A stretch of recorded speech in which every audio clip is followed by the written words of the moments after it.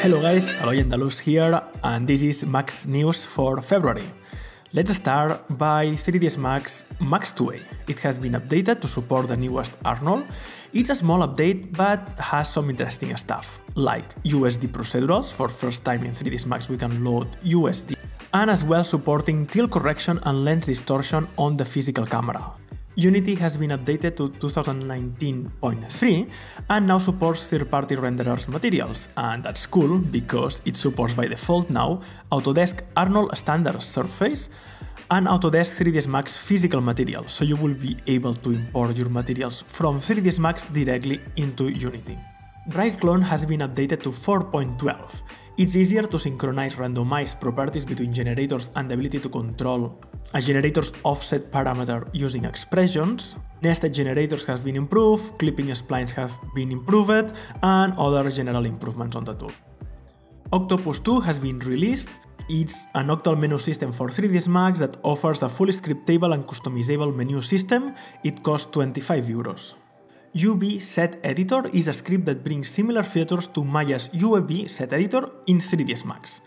It's totally free, you can find it on ScriptSpot. Cityscape Pro is a new parametric modeling plugin focused on architecture. You can create different types of spline projections, water, procedural terrain, all types of modifiers for create roads, snow, grass, all in a parametrical way the plugin costs $39.99 a month, and you can find as well a demo version. Project Lavina is now open on a preliminary beta. You only need to have a license from V-Ray uh, to make it work. So if you have a V-Ray license, you can download now Project Lavina and try it. You have a plugin to export everything from 3ds Max because basically it's using a V-Ray scene. And once you load it in Project Lavina, you need to have an RTX card because it's fully based on RTX technology. You will have a really fast ray tracing, almost real time. Obviously has some limitations right now, but you can actually import all types of animations and tweak materials and interact in real time with the illumination from, from the environment. Creawin Limited has released Tylore Do. It's a node-based tool to write scripts without a line of code. It is compatible with several languages including MaxScript and Python. It costs $83 and there is a demo version available as well. Guillermo Leal has announced that he's developing a new Ivy generator plugin for 3ds Max. Everyone remembers GuruWare Great Ivy generator but was discontinued, uh, so this can be, if he releases it, a very good replacement. iCube has announced the release of Multiscatter 1.524. There are improvements on viewport speed, multi-painter tools, ability to distribute items using reference objects, and others. If you need to buy a new high-end graphic card, check the CG channel new comparison using mostly the RTX 2080 Ti. They compared it in 3ds Max with the RTX Titan and previous GTX 1080s. It's really interesting, for example, seeing the increase in performance in wireframe. From the 1080 in wireframe mode to the 2080 Ti, you get double the performance, for example. If you buy one of these graphic cards, it's quite possible that you think to render by GPU, and it compares as well V-Ray and Arnold and others, and you can see that the 2080 Ti is quite a good option, and the Titan RTX for the price is only worth it if you really need the extra RAM that offers. João Victor Ferreira created a very complex rigging course based on a character for $225. Also on rigging, Stefan Heinlein created a free tutorial in how to rig a spring in 3ds Max. We have an update for Project Manager, the asset manager for 3ds Max. It adds the ability to manage multiple directories at once, as well as the ability to auto-assign previews that shares the same file name and others. Motiva has announced the release of Layama. It's a new tool that creates 300 degrees tours in just a few clicks. The website that Layama produced will run on any modern browser, including mobiles. Layama is compatible with 3ds Max, by now only with V-Ray and Corona, costs 180 euros, but if you buy it right now, it has some discounts. Martin Solarte released Quick Environment Script. It's free by donation and it allows you to accelerate your workflow with HDRIs. It works with V-Ray and Corona. You can search by keywords uh, HDRIs like sunny or interior or things like that, switch between HDRI and V-Ray Sky, and multiple options. Align multiple objects by Spline Dynamics does what the name says. It aligns multiple objects based on bounding box and is totally free. And the demo reel of the month goes with any doubt to Brandon Riza. Brandon Riza left Blur Studios after 16 years, 16 years working there. I grew up and I went into visual effects, showing the amazing work that Brandon was doing with 3ds Max at the time. Uh, all what you see here is 3ds Max. It's one of the best working with particle flow back then, Fire, Fume effects, whatever. All the demo reel is simply inspiring, a lot of great effects, and thinking that a lot of these things was done 16 years ago. All the best to Brandon on his new projects, and I hope that you can enjoy this this demo reel because it's totally worth it. For all of these people that says that 3ds Max now it's only for Archviz, well, you can show this amazing stuff done during last 16 years.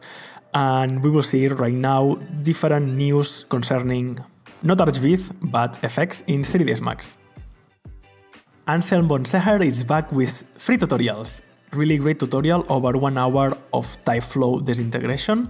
Check it out. Redefine FX created a full complete course, uh, it's by payment, about Tyflow. It covers destruction, you will destroy all covering the basics of good destruction, metal destruction, concrete destruction, and then create a final project with it. But that's not all because you have Allan McKay, and Allan McKay create over 15 hours of tutorials covering Tyflow and as well Phoenix, creating uh, building destruction. It's totally free. It will be released one video a week.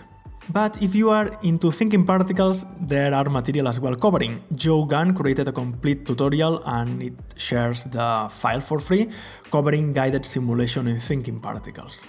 cebas Technologies interviewed Joe Scar, effects supervisor on Scanline Visual Effects, talking about the effects that he lead on Midway. Uh, they talk about how they set up thinking particles setups, uh, how to create different trailing systems, destruction. It's a really in deep talk about breaking down and knowing exactly what has been going on behind the scenes. Really complete and really interesting if you want to, to watch. Phoenix FD 4.0 was released last month, and this month they released one webinar. It's free, it's over one hour covering all the new features of Phoenix. ILM X Lab is a division of ILM, Industry of Light and Magic, where they create all type of alternative projects. They work with VR and park shows and all these kind of things. There is an interview online talking about the making of of a Star Wars Vader Immortal. They cover all aspects of the project, but you can see that for modeling they use and it's time to talk about Tyflow. So a lot of things on Tyflow as usual. We have a smooth modifier has been multi-threaded, way faster. Subdivide operator to add detail to your simulations has been as well improved, it's way faster. And we have time-independent animation for all operators, not only for a scale. So now you can animate any or almost every value on Tyflow based on the event age. Tyson is as well working on a physics fluid operator that allows two-way interaction with Phoenix. On the works, we have as well wind with occlusion, so objects on a scene will stop wind from happening.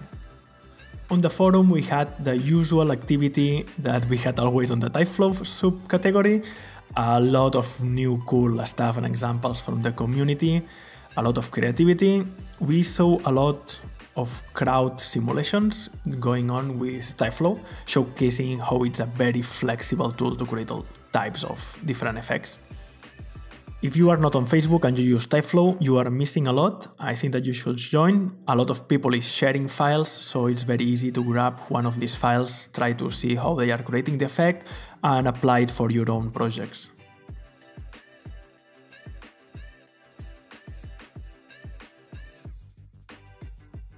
A final special mention for Oleg Vdovenko, create an amazing an amazing uh, short film made by himself with a strange creature, really creepy, but at the same time really good. And all this has been done in 3ds Max. You can see he posts this on Instagram, but on YouTube there are different work in progress videos showcasing some of the process using 3ds Max together with Tyflow for all the liquid stuff and cloth. Remember, in London, 4th of March, there is the 3ds Max meeting group with a huge lineup of good presenters. And that's all guys, thank you so much. Please leave a comment, like the video. If you like it a lot, please consider to subscribe, give it to the bell so you can get notifications, and share it with your friends, it's super important. And thanks a lot to my Patreons, makes this video possible. Please consider to donate if you like it, it's a lot of effort to do these videos. And yeah, uh, I think that next month will be as well with a lot, a lot of news. So great times for 3ds Max. See you guys.